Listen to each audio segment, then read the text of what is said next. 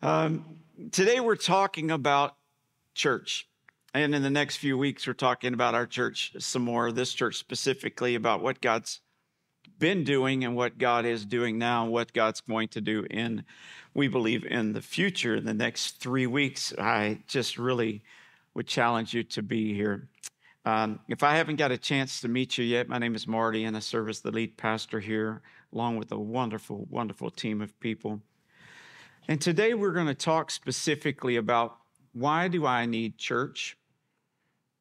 Um, I know there have been times where you may have questioned that in the past.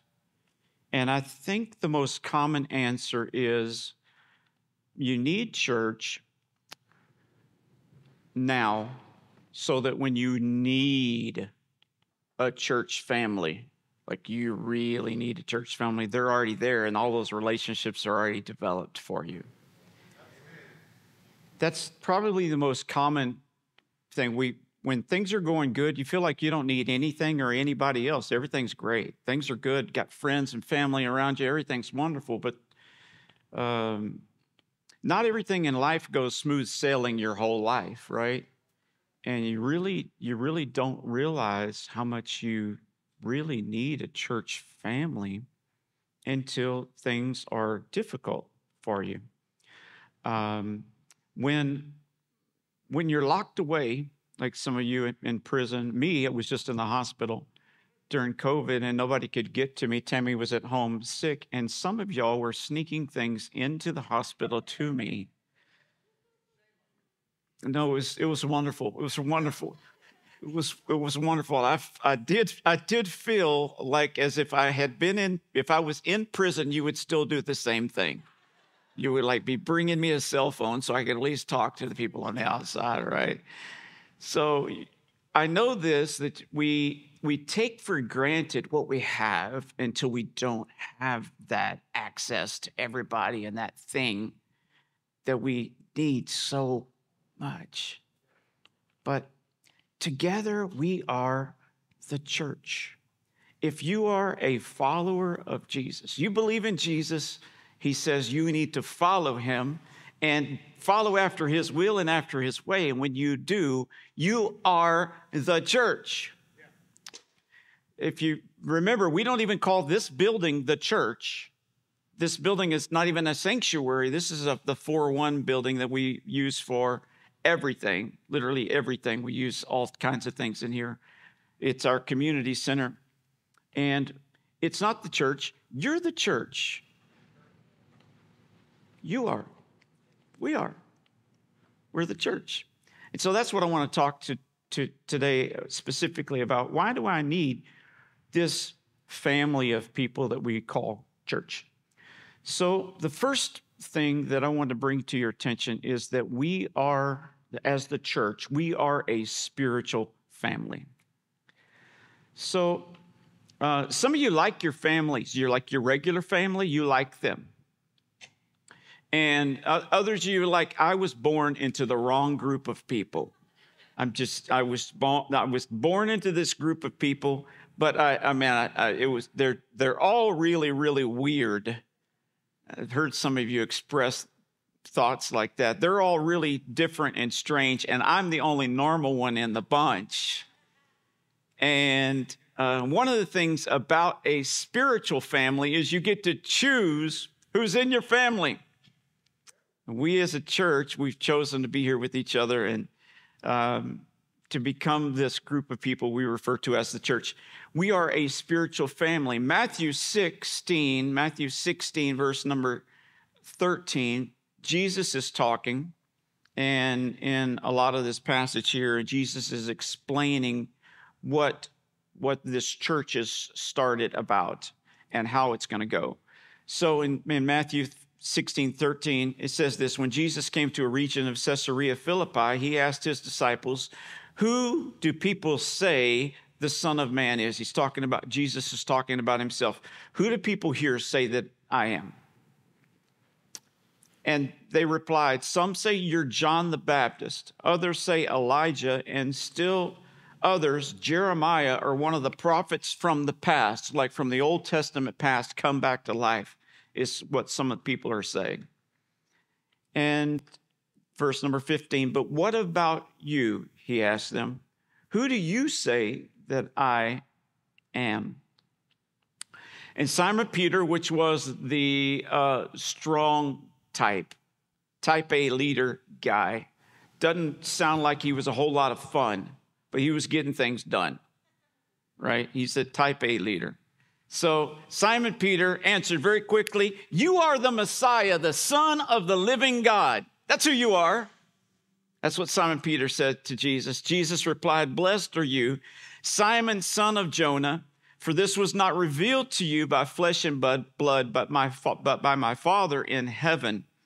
And I tell you that you are Peter, and on this rock I will build my church and the gates of Hades or the gates of hell will not overcome it. Another version says, the gates of hell will not prevail against it. I'm going to build my church. Um, Jesus is saying, Who do you say I am? Simon Peter answered correctly and says, You're the Messiah. That's who you are. You're God's son. And Jesus had changed Simon Peter's name from Simon to Peter which means um, a rock, a stone, a pebble, or a, a piece of the rock. The name Rocky really fits his personality. Peter's personality, that's kind of how he was, right? And Jesus said, On this rock I will build my church. Some people think that, that Jesus is talking about Peter being the rock.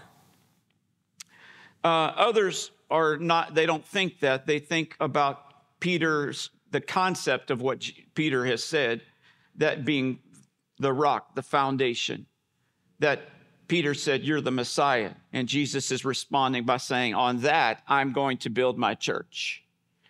Um, all of it still works really good together. Peter himself said this in 1 Peter 2 4, he said that Jesus was the chief cornerstone on which the church is built. He's the true cornerstone on which the church would be built. All of those still play into the same line of thinking that God uses people that are just people to build his group of people that follow him and he calls that the church. And it takes sometimes Peter type of people that are not the kindest, warm, friendly. Um, you know, Peter's tough. He's a tough guy. He's like he wants to hurt people first and pray for them later. You know, that's that's how he appears. That's how he appears to be. And it takes leadership like that sometimes to build a group of people. And Jesus is saying, on this principle and on this person, I'm going to build this great church. And, and no matter what comes our way, hell will not defeat it. Hell will not defeat the church of the living God. So, um, we know this God never intended for us to go through life alone.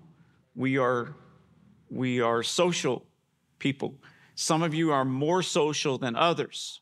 We try to get you to stop talking like and just halfway watch the announcement video like no way I'm talking through the whole thing.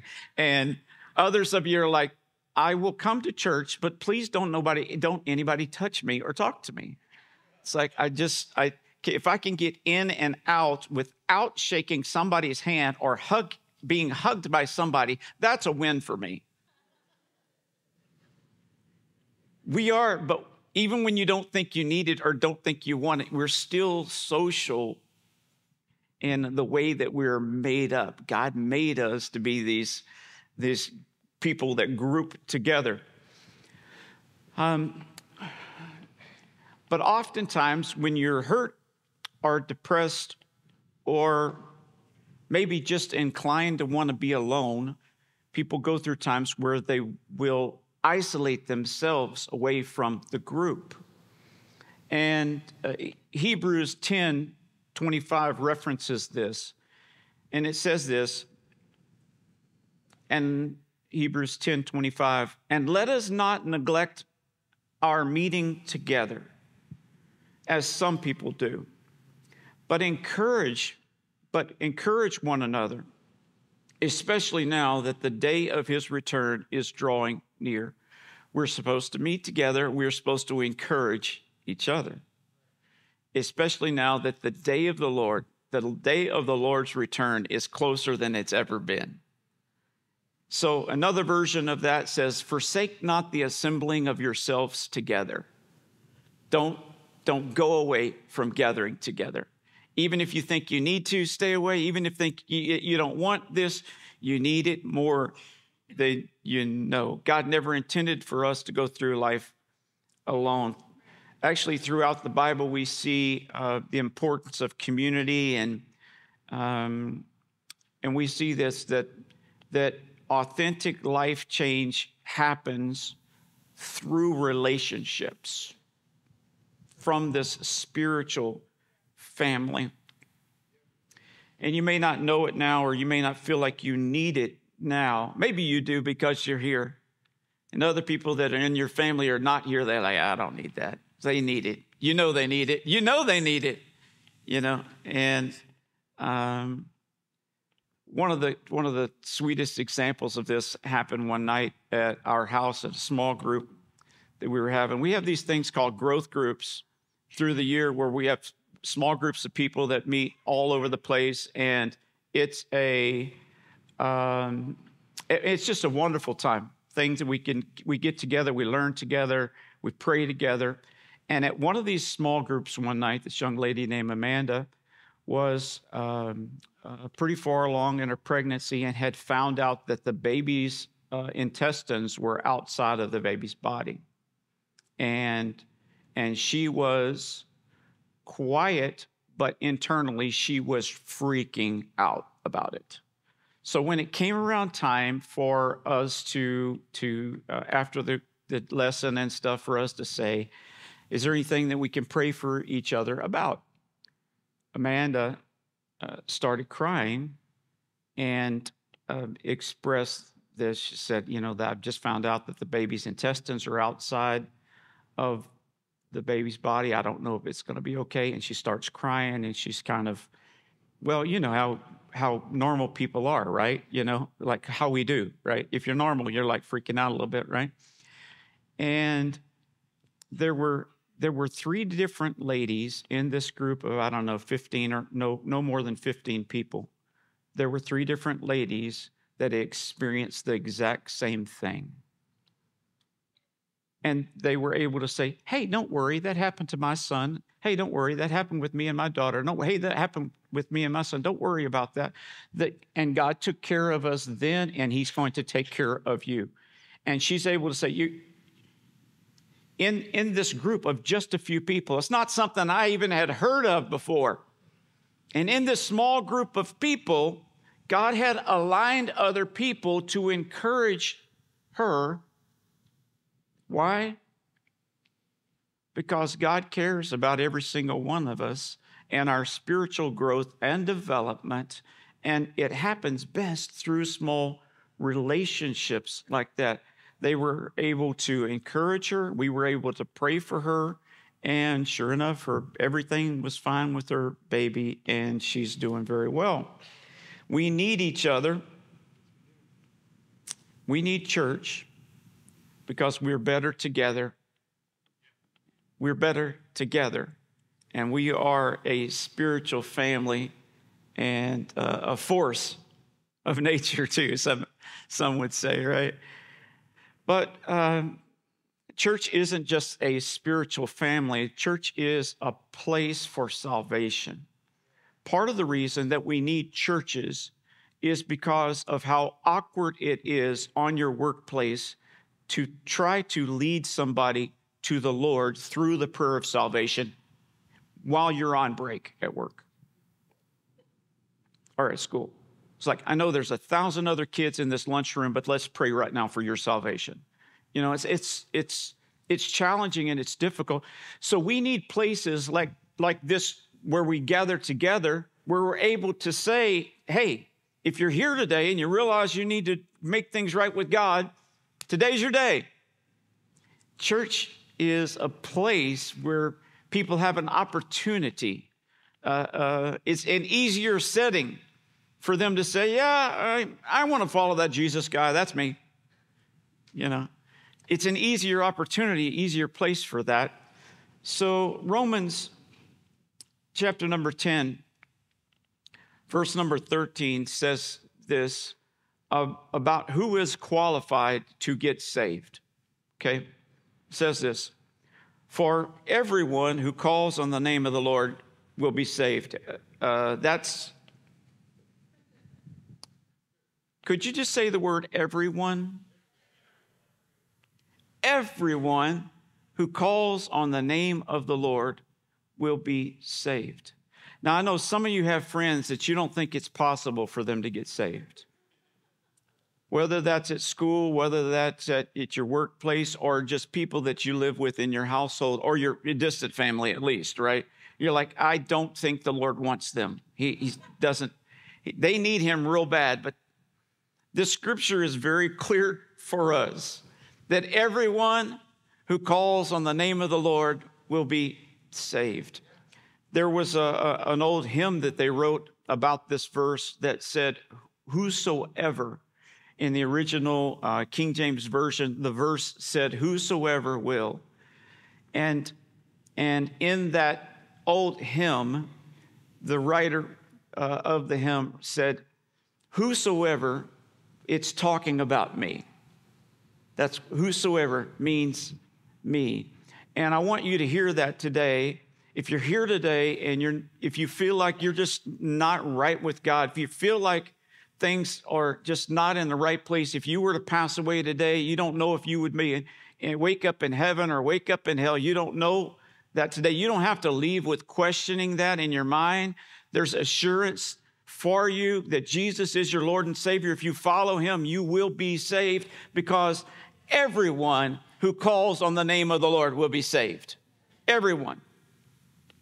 So the verse goes on to say, But how can they call on him uh, to save them unless they believe in him? And how can they believe in him if they have never heard about him? And how can they hear about him unless someone tells them. Church is a place where we tell them. We tell people about Jesus and and that when we gather together, it's a place where you can find salvation. But it goes beyond salvation, and I could list out, um, honestly, probably really easy, a hundred reasons why I need church.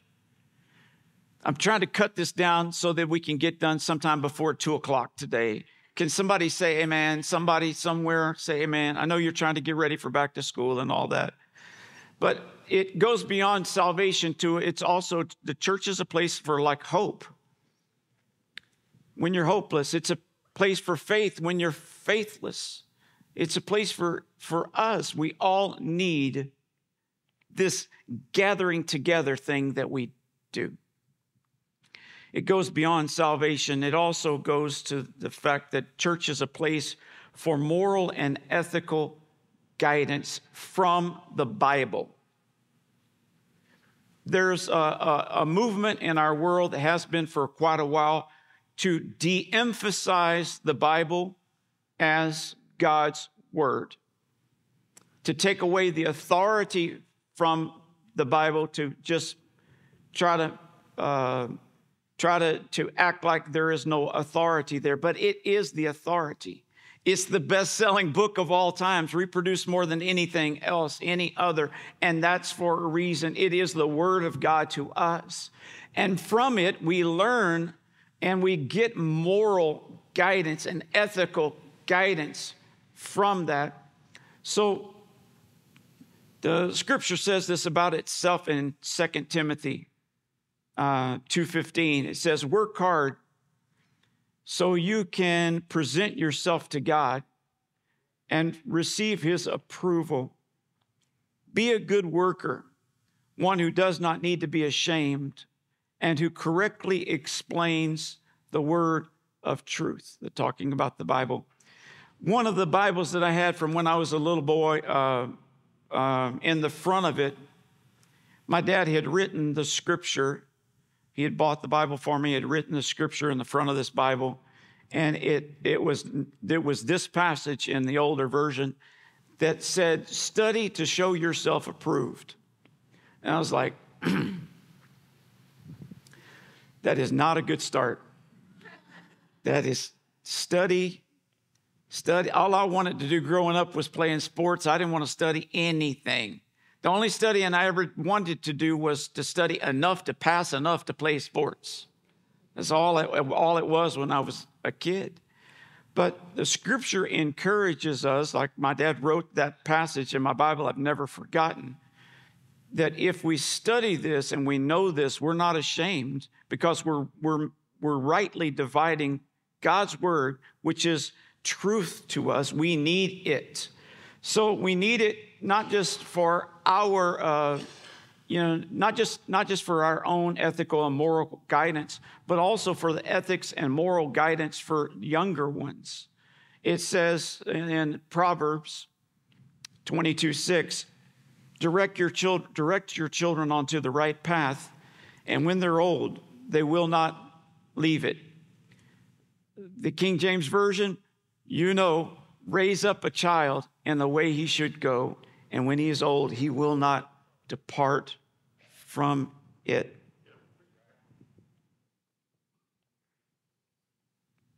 The things that the teachers are being asked to communicate in schools today are crazy. The things that, that are being put online and uh, questioned questions being raised are just are, are just crazy. Um, and I, I don't want to get off of the subject of the church and talk about the different things that are being uh, raised, but I will tell you this that we live in a world that tries to teach people that um, they need to live up to their own truth and find their own truth. There is no truth separate from the Word of God. It is the basis of truth. So, and and where do people learn the Word of God? Where do they learn what is moral and ethically correct? They learn it when we come together to do church.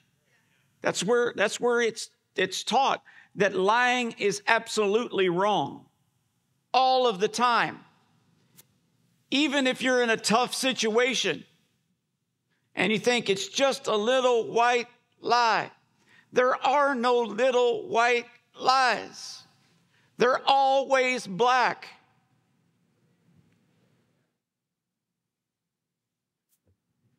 I'm going to go over here and talk to this group of people. There's, there's, there's nothing that we can do to, to justify sin, all sin black, wrong. It's wrong. And, and yet, our kids are being taught through school and through social media. I don't believe it's through the teachers. I believe it's, it's through an agenda that's pushed on the teachers. And there are a few of them that are bad and crazy, but not the majority of them are just trying to do a good job. And uh, there's things that are pushed on them to talk about and to not talk about. And honestly, um, there is no truth away from God's word. You can't, you just, you can't make up your own truth. Uh, I heard a guy talking the other day about uh, the fact that they absolutely wanted to have uh, ladies in high positions in government, a woman women in high positions in government, but then they refused at the same time to actually define what a woman is.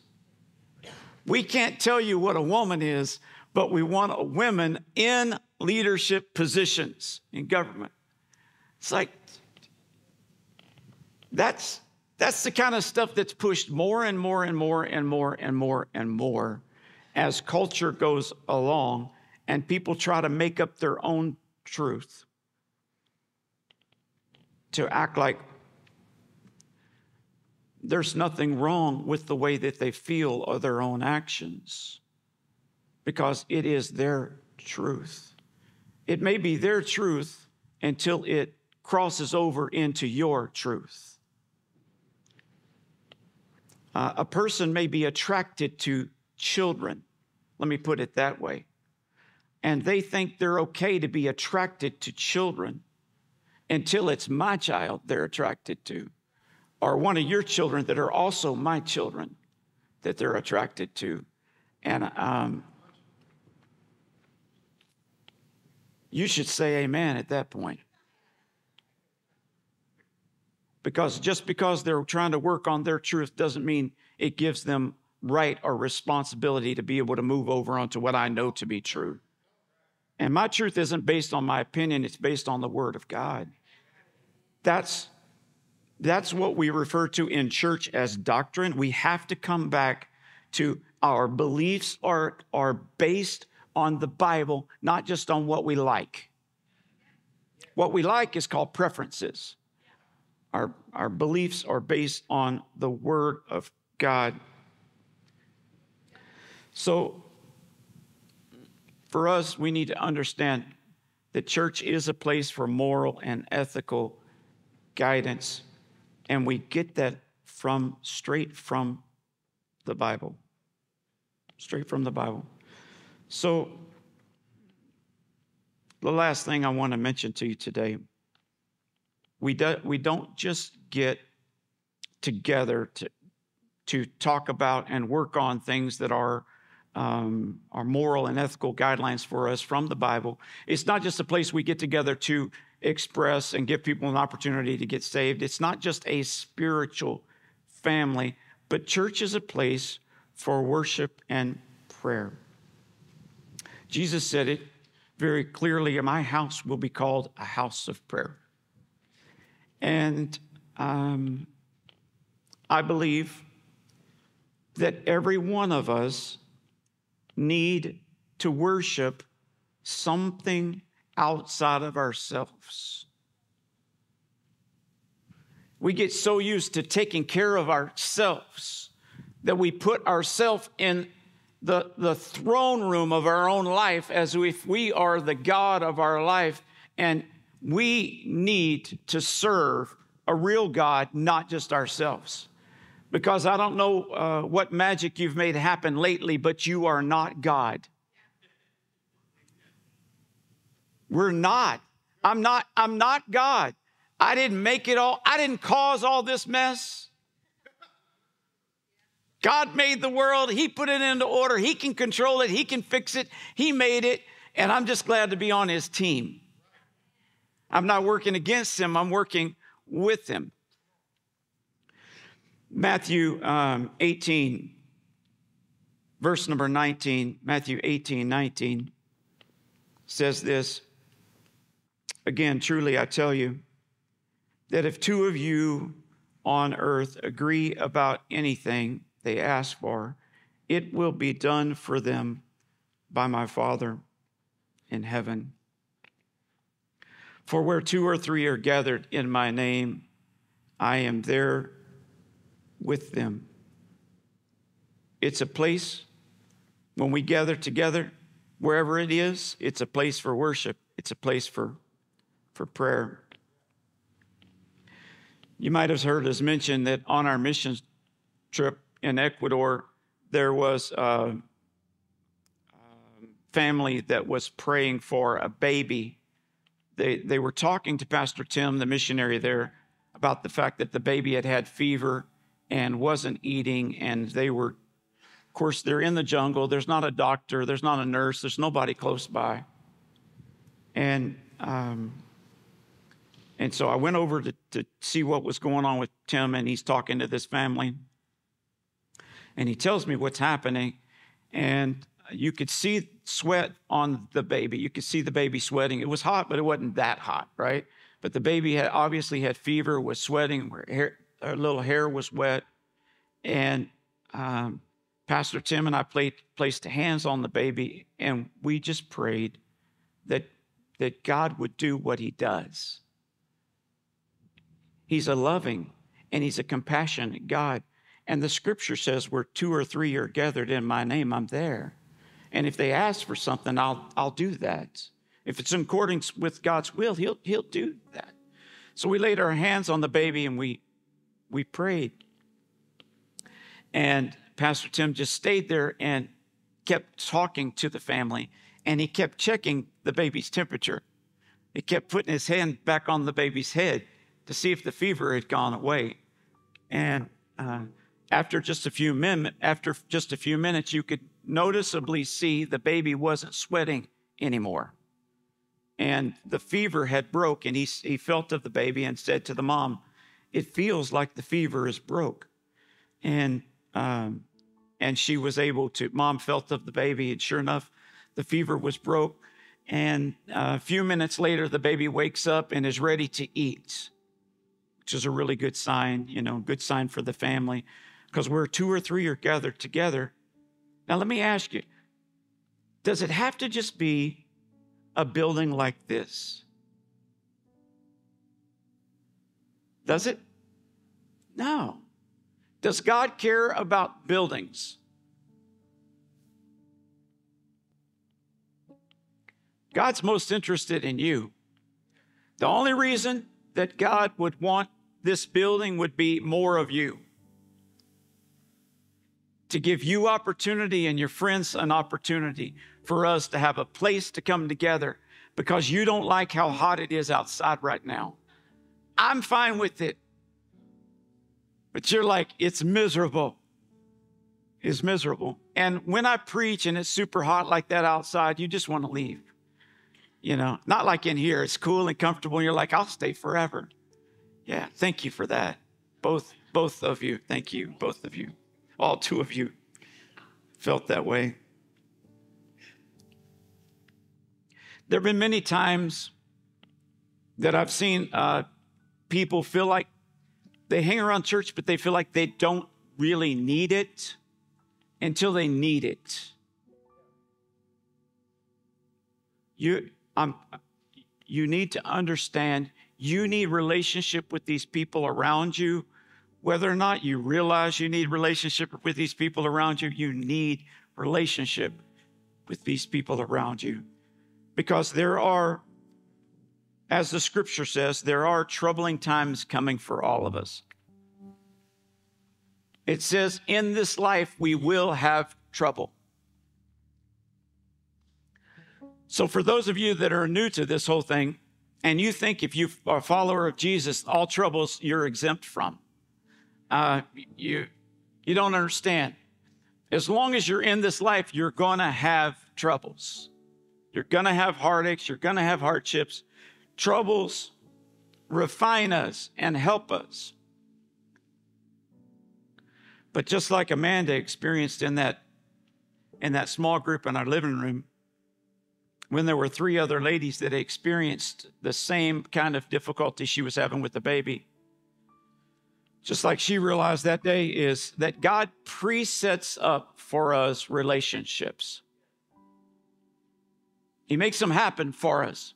We just need to keep showing up. We keep showing up, and God puts these relationships there for us. And when we need them, they're there.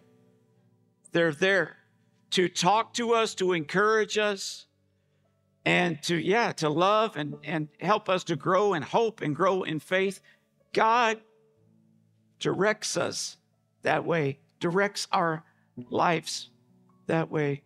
So we need each other because we're a spiritual family. We need each other because, because together is where we find salvation and where we help others find salvation. Let me remind you that heaven and hell are real. And salvation isn't because we're trying to help people just have a better life here. It's because we're trying to steal souls out of hell and help people have heaven to look forward to forever. That's what salvation is about. But it goes beyond salvation, it goes beyond hope and faith. It goes beyond that all the way into helping us to learn what is morally and ethically correct and what is right to do and what is not right to do. And it goes into the fact that this is a place where we come together to worship a God that is far greater than we are. Church, I dream about this place being filled with people who will worship God. Excuse me for a second so I can get a drink and I can keep preaching.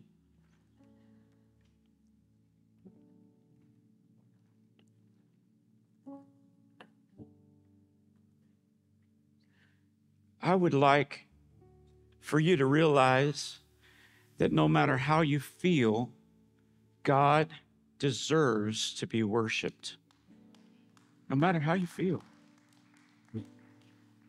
There was a time period when uh, in my life I was raised going to church and raised going to Christian school. And uh, I won't put this on everybody, but I'll say this for myself, having been raised in church and Christian school, that what came natural to me was judgment. Not from the church, but for each other. I felt internally very judgy. Anybody, you don't have to admit that you judged me a lot this morning already, but you understand what I'm talking about, right? About other people, not you, about other people being judgy, right? And I remember looking over one time at one of my friends during a chapel service during in Christian school, and the worship service was happening. And one of my friends that I knew to be a very bad person, I knew this. I mean, I knew I knew details I should not have known details about this other dude that was bad. And he's raising his hands in worship. and I thought, oh my goodness, what, what a fraud. Why? He's like, who is he trying to fool? And I, hold the, I heard the Holy Spirit speak to me down in here. Maybe he speaks kind and gentle to you. He typically speaks rougher, more forceful to me, and kind of a condemning tone, just to be honest, right? He's, he said, he said, maybe the same God that forgives you has forgiven him.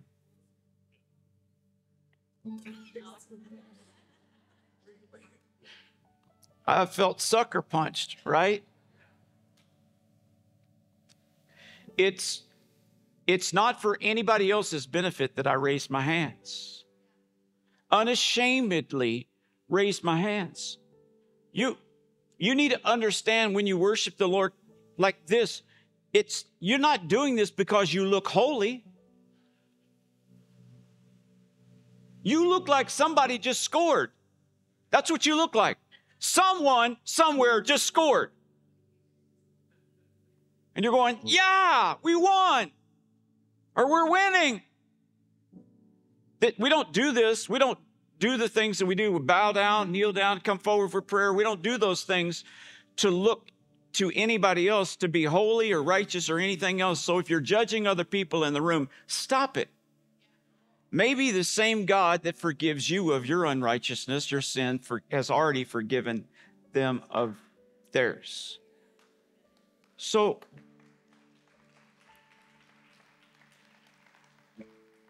I dream of our church being a church that worships that worships like this and excitedly worshiping God.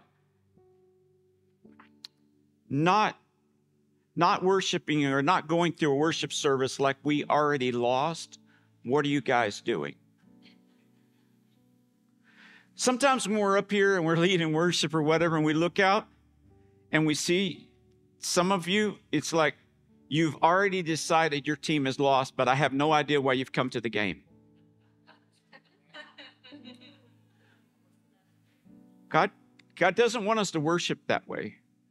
Uh, he wants us to worship Him, He says, in spirit and in truth. What is the truth? He's the Savior of all mankind. Upon Him, the church is going to be built, not upon us. Not about you. It's not about you. And part of the reason why I raise my hand in worship is to remind myself that I am not the king of my own universe, He is. That's part of why I raise my hands. I bow my knee, I lift my head, or I bow my head to Him and surrender in worship. He deserves it. And I, it's best for me if I do that. And it's best for you if you get off the throne of your own life and if your whole world doesn't revolve around you making it happen, because there's a lot of stuff that we just can't fix. We just can't. And we need Him and we need us. I need you. We need each other. We need this together. We need to be reminded. And sometimes some of you will worship and it's so encouraging. Like whatever you had going on during the week and you worship God like with a reckless abandon. It is awesome and it's encouraging to, to others. We need each other. We need to worship. We need to pray. Why do we pray? Because God hears and He answers prayer according to His will. That's what His word says. We're gathered together and He hears us and He answers prayers. And He does, listen, miracles. We're not asking God to do something that we can do. God, I really need, you know, really need this to happen. I need somebody to pack up that backpack for back to school tomorrow. But you're not asking God to do things that you can do. It's like God supernaturally, we need protection around our students. I can't be there. I would be there with some type of machine gun if I could. I'm not typically a helicopter grandparent, but I can be. I believe that God can take care of us, you and our children and our grandchildren, better than we can take care of them. We need the miraculous hand of God. We need God. So we pray and we believe God, not for the natural, but for the super, supernatural. And God hears and answers prayer. So that's why I believe, that's why I believe we all need church. All need it. So we're a spiritual family. We need a place where we can be saved. We need a place where we can grow and develop the, the morals and ethics that we learn from God's word. And we need a place where we can worship and where we can pray. That's why we come together. And I want to ask you to stand with me together today. We want to do just that. We want to worship and we want to pray. I'm going to ask the prayer team to come across the front.